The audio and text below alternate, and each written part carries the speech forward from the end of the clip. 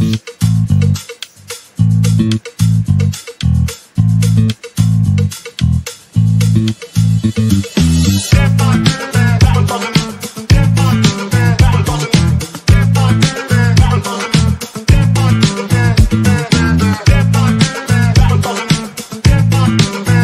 Guys अस्सलाम वालेकुम आज मैं द रेसिपी किचन में मैं आज आपके लिए लखनऊ के गलावटी कबाब की रेसिपी लेकर आई हूँ, जो बहुत ही ज़्यादा सॉफ्ट लजीज और टेस्टी और डिलीशियस होते हैं।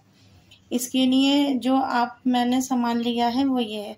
ये मैंने आधी किलो अच्छे से कीमा बीफ का, बड़े का मैंने करा लिया अच्छे से।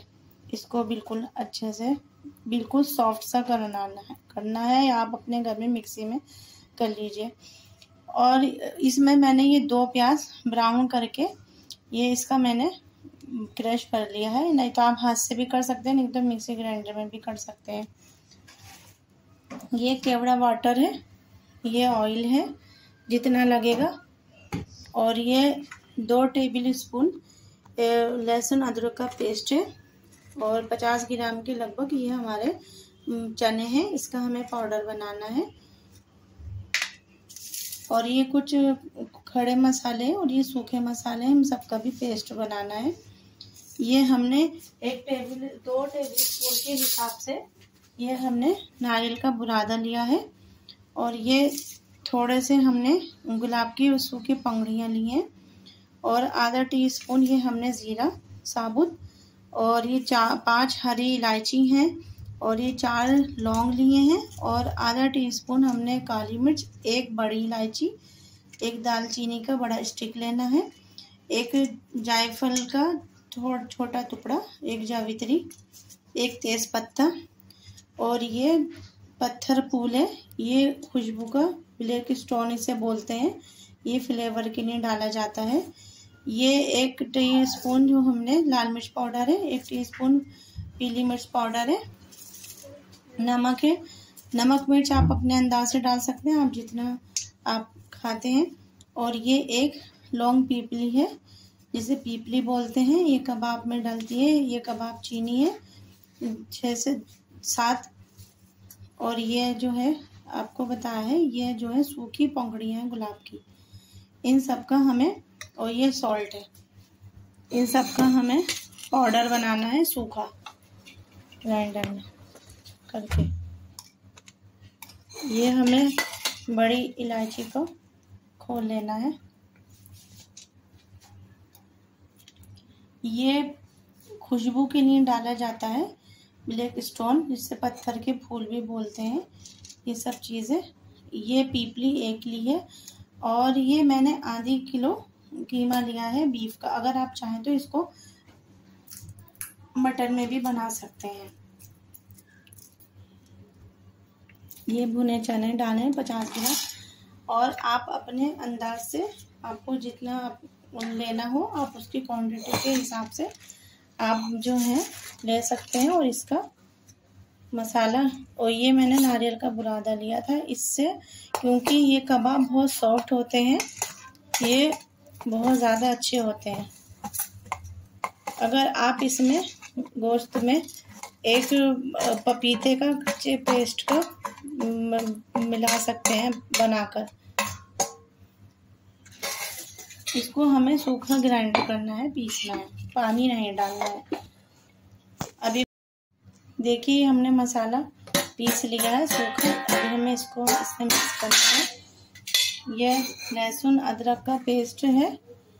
अगर आपके पास कच्चा पपीता है तो आप इसमें थोड़ा सा वो भी मिला सकते हैं। ये हमने एक, आधा टी स्पून हमने केवड़ा वाटर लिया है। अब इसको हमें अच्छे से मिक्स करना है हाथों से।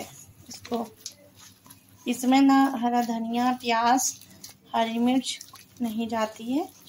बिल्कुल, ये बहुत ही ज़्यादा सॉफ्ट। अगर आपके पास ज़्यादा वक्त है तो आप इसको लगा के भी रख सकते हैं। इसका बहुत ही ज़्यादा गाइस बहुत ज़्यादा अच्छा टेस्ट आता है। ये लखनऊ के बहुत ही ज़्यादा मशहूर गलावटी कबाब होते हैं। देखिए, हमने सारे मसाले इसमें मिक्स कर दिए हैं और अब हमें इसको 20 मिनट के लिए रखना है रेस्ट देना है। अगर आपके, आप इसे चाहें तो एक घंटा पहले भी रख सकते हैं, मैं बीस मिनट के लिए रखूँगी। फिर उसके बाद मैं आपको इसके कबाब बना बनाकर दिखाऊँगी। ऑयल डाल दिया है इसमें गरम करने। अगर आप चाहें तो इसको घी में भी बना सकते हैं।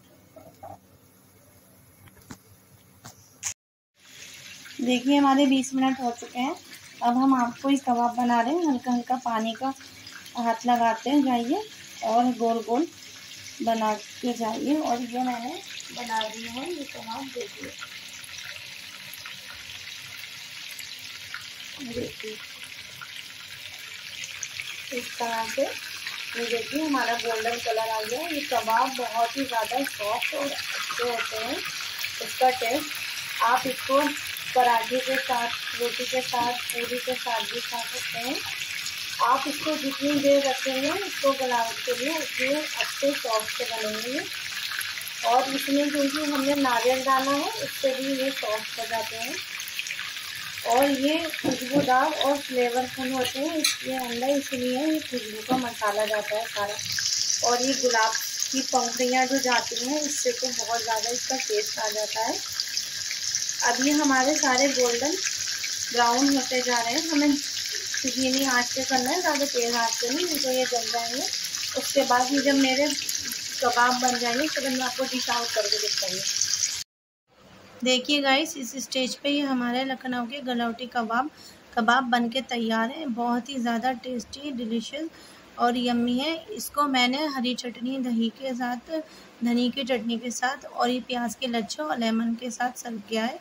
गाइस आप अपने किचन में मेरी इस रेसिपी से ज़रूर ट्राई करना और मेरे चैनल को लाइक करें कमेंट करें अच्छा सा और अपने दोस्तों में, मिलने वालों में शेयर करें और मेरे चैनल को सब्सक्राइब करें। Thank you